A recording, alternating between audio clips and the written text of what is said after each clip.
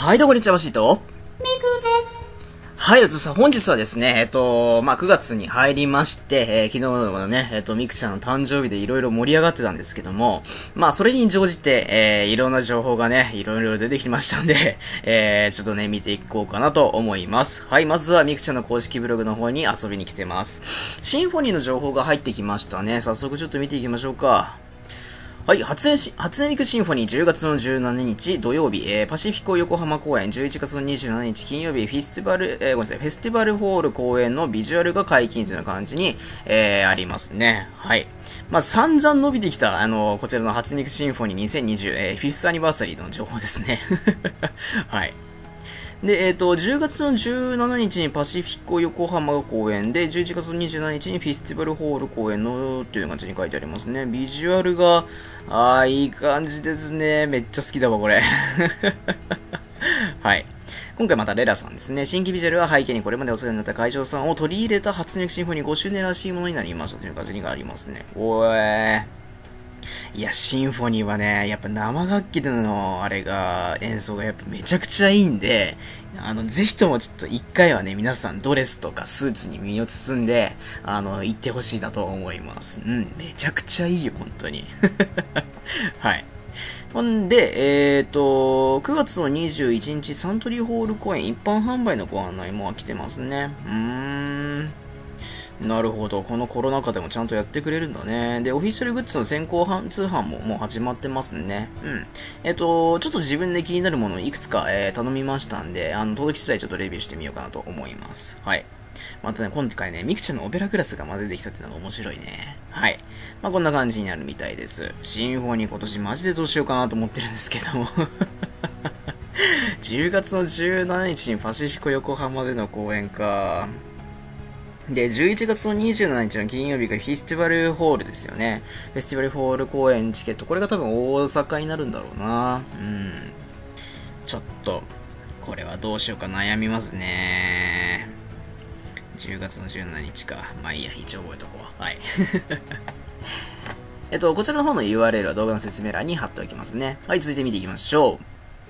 はい、マジカル未来東京のメインビジュアルが公開されました。めちゃくちゃ可愛いです。うん。これすごいよね。まあ予想通りではあるんですけども、いやめちゃくちゃすごかったね。あのー、もう予想よりもうちょっと上だったね。ビジュアルの綺麗さがね。うん、すごい綺麗だなと思います。はい。で、今回このメインビジュアルの中に、あの、ちょっと隠された要素があるの皆さんにもう、えー発見いたしましたでしょうかこちら、雪音がいるんですよ。うん。ってことだよ。雪ミクちょっと入ってくるんじゃないか説がもう騒がれてますね。はい。こりゃすげえわ。うん。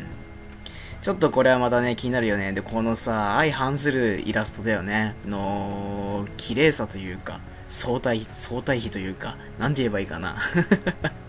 めちゃめちゃ綺麗で、個人的にはすごい好きです。うん。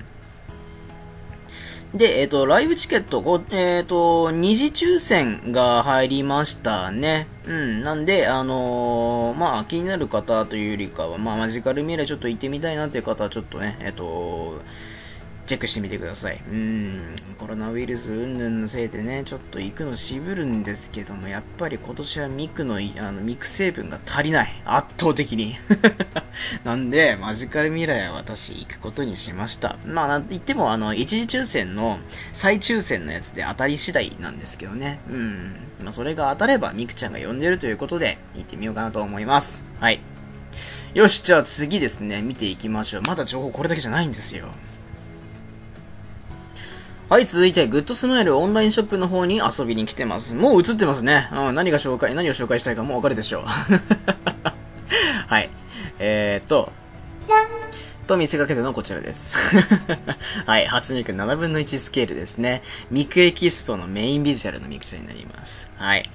で、あの、これデジタルスターズって合ってるよね。デジタルターズになってるんだよね。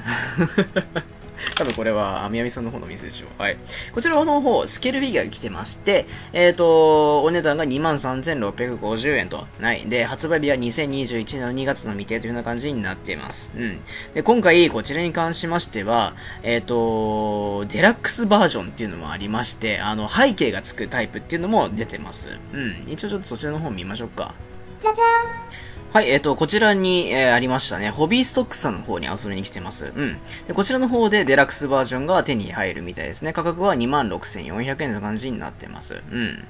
このパネルが、えっ、ー、と、まあ、ついてくる感じになるのかな。うん。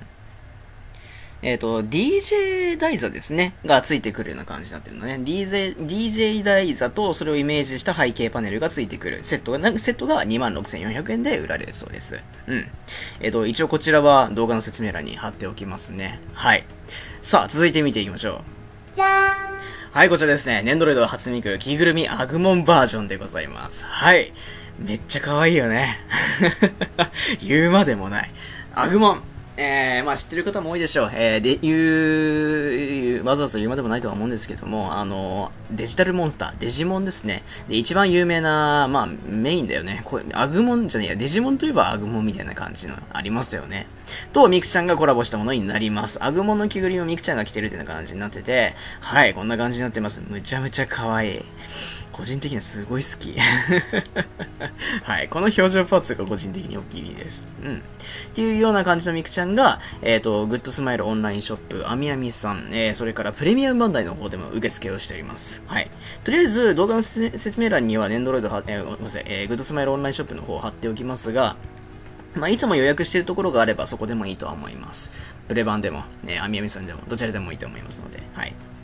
いや、にしてもめちゃめちゃ可愛いね。ちなみに今回はグッドスマイルオンラインショップの方では、あの、特典ですよね。特典パーツついてこないので、どこで予約しても基本的には同じだと思います。はい。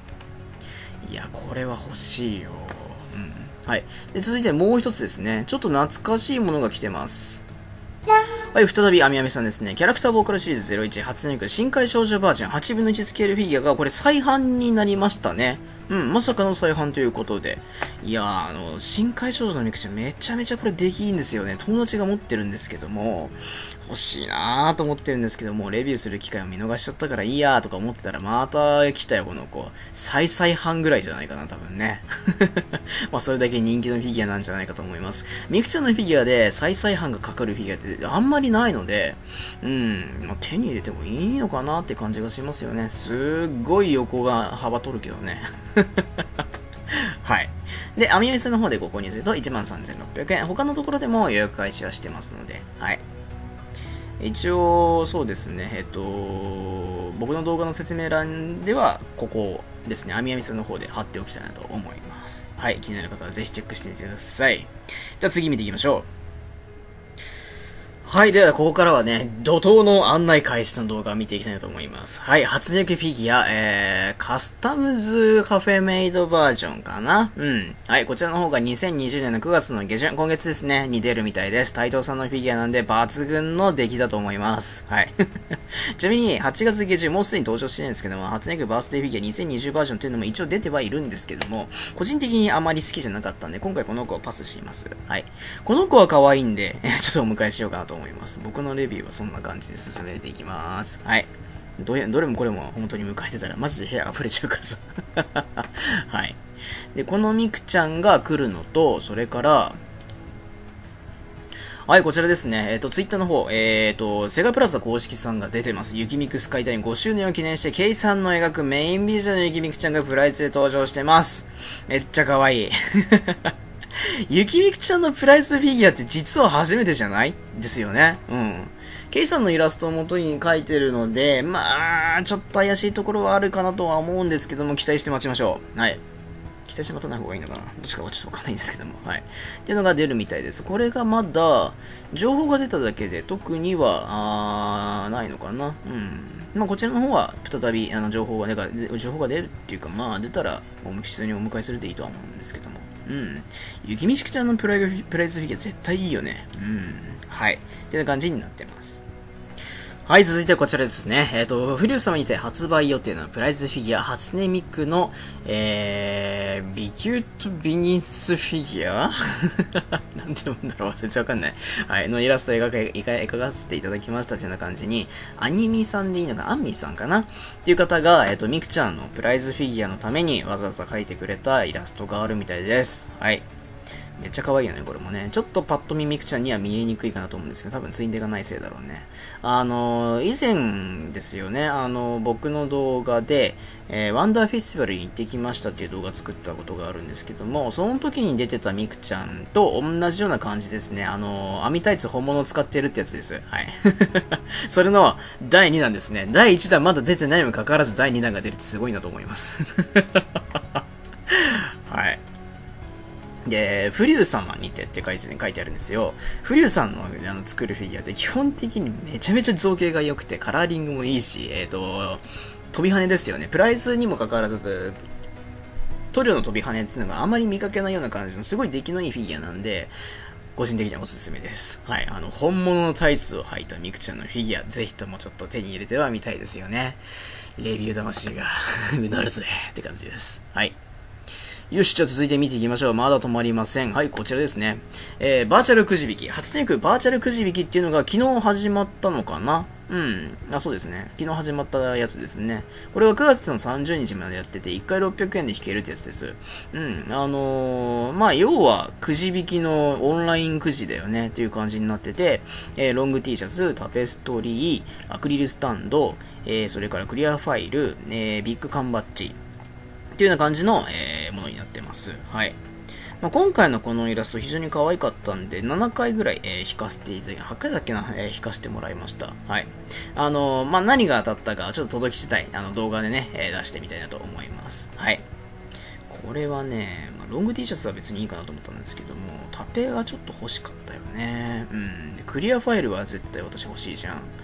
で、あとはアクリルスタンドぐらいかなって感じですね。はい。まあ、届き自体レビューしてみたいなと思いますので、楽しみにしていただければと思います。はい。じゃじゃーんはい、こちらが最後になりますね。案内開始の最後になります。2020年の10月の1日から予約開始になります。初音ミクの記念日にあなたの元へ参る初音ミクの感じに書いてあるんですけども、はい。こちらの方は13周年を記念して作られたミクちゃんのフィギュアになります。めちゃめちゃ出来良さそうだよね。もう、財布が、えらいこっちですよ。はい、商品について見ていきましょう。スイートエンジェルをテーマに、えー、ネコミさんが書き下ろした初音ミクを立体化。2020年8月31日の初音ミクの記念日にお祝いした特別なイラストの美しさをその前に丁寧に作り上げましたという感じに書いています。繊細なドレスに透き通る純白の羽、デコレーションケーキというような感じに造形がめちゃめちゃ良さそうなのを伝えてますね。強えばなんだか桜ちゃんっぱい。はい。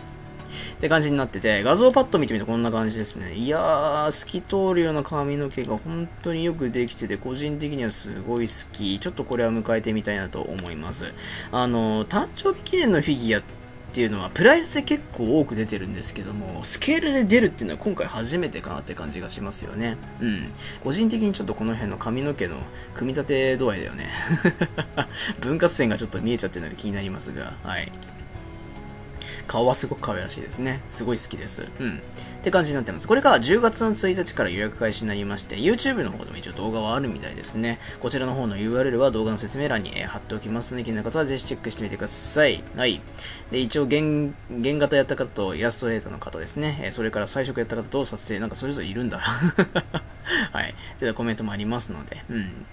で、価格の方が19,800円。安いね。うん。えー、発売日は2021年、2021年の8月の感じになってます。一応来年には出る予定にはなってるみたいですね。制作協力会社がウィングってところだね。なるほど。はい、わかりました。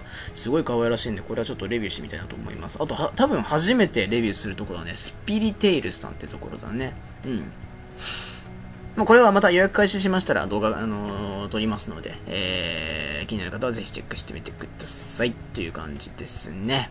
はい。以上になりますかね。えー、昨日の誕生日の時点でめちゃくちゃ情報出てきたんですけども。びっくりしました、僕もね。うん、まさかここまで情報いっぱい出てくると思ってなかった。あと、大半がフィギュアに関することなので、まあ、僕のね、あのー管轄内のことでありますので、えー、手に入れたらレビューしてみたいなと思います。はい。で、えっ、と、以前、今紹介したもので、えっ、と、URL ですね、は、紹介できるものは全部載せておきますので、えっ、と、気になるものをチェックしていただければと思います。はい。えー、というわけで紹介したのはシート。ミクでした。はい、またねー。またねミクとミント、バッシーから、おお願いです。す。チャンネル登録、動画の評価。お願いします。えー、Twitter、Instagram をやってますので、フォローお待ちしております。それでは、バッシーと、ミクとミン、チャンネルを、おお願いします。